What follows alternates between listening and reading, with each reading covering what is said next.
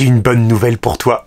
Si tu trouves ce que j'ai dans mon dos, tu pourras sortir de ce grenier. Alors, j'ai quoi dans mon dos? Hmm? Faux!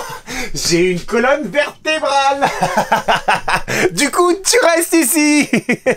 Pour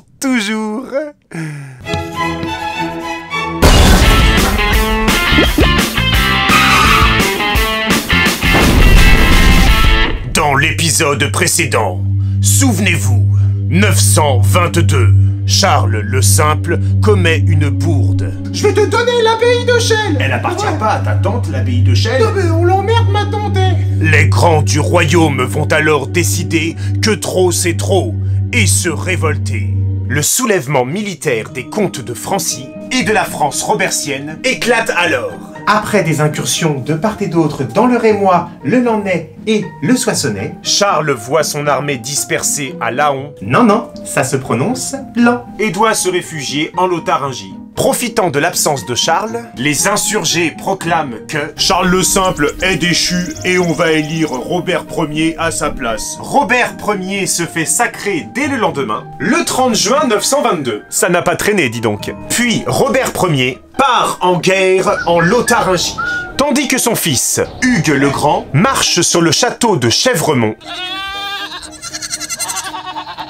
place forte de leur allié Giselbert de Lotharingie, et que Charles le Simple est en train d'assiéger. Brûlez-moi ces putains de chèvres Hugues le Grand contraint Charles à lever le siège. Non mais c'est- bête en plus parce que j'aime bien les chèvres, c'est c'est mignon Au début de l'année 923, Robert Ier, s'étant entendu avec Henri Ier l'Oiseleur,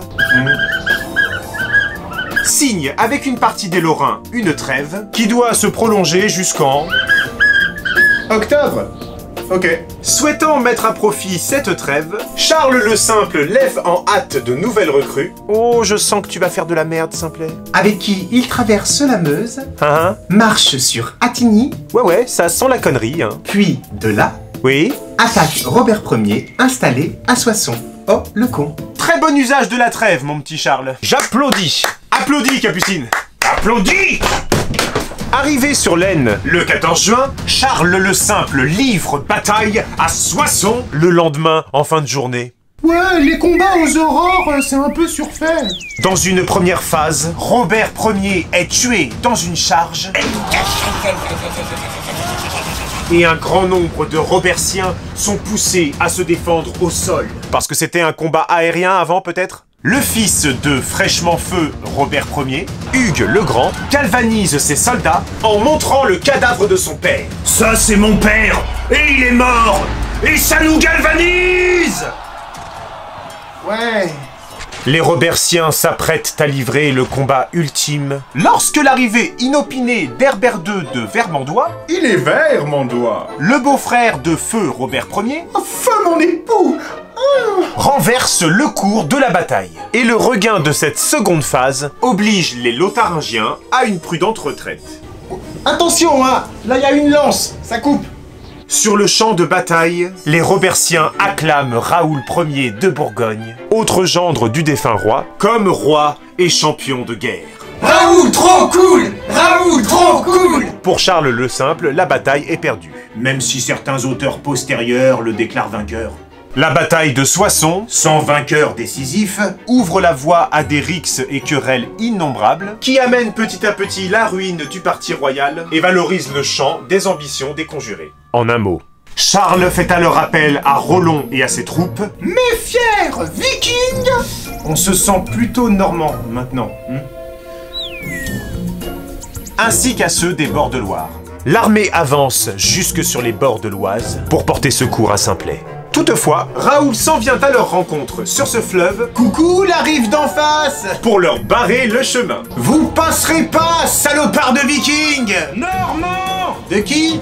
Et du coup, Charles le Simple doit de nouveau fuir en Lotharingie. C'est d'un redondant Les Vikings normands étant d'anciens envahisseurs, le fait que Charles le Simple fasse appel à eux est considéré par certains comme une vraie maladresse, ce qui lui met à dos ses derniers soutiens.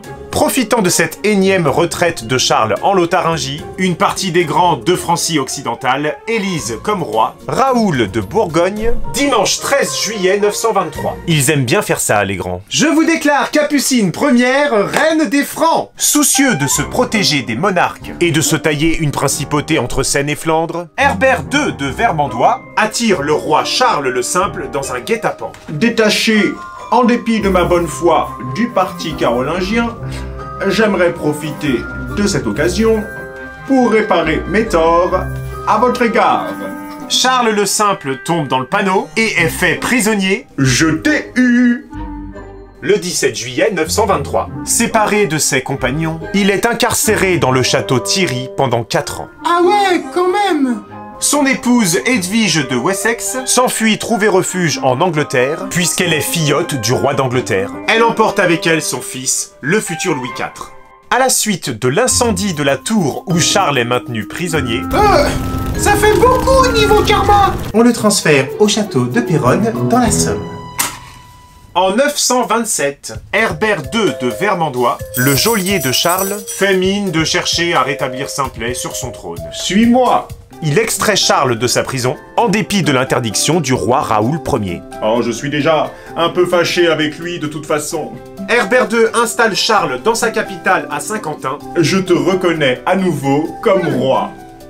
Puis il l'emmène à Eux, Près de Dieppe dans la Somme, afin d'y négocier une alliance avec Rollon, Je suis demeuré fidèle au souverain carolingien. alliance qui vise évidemment à s'opposer au roi Raoul. Après avoir mené une expédition dans la France du Nord, à la tête d'une armée bourguignonne, le roi Raoul finit par s'entendre avec Herbert II. Je te cède l'an ainsi que le Viennois pour ton fils Eudes. Puis il rencontre Charles le Simple à Reims. Je t'accorde le fisc royal d'Attigny, et peut-être celui de Pontion.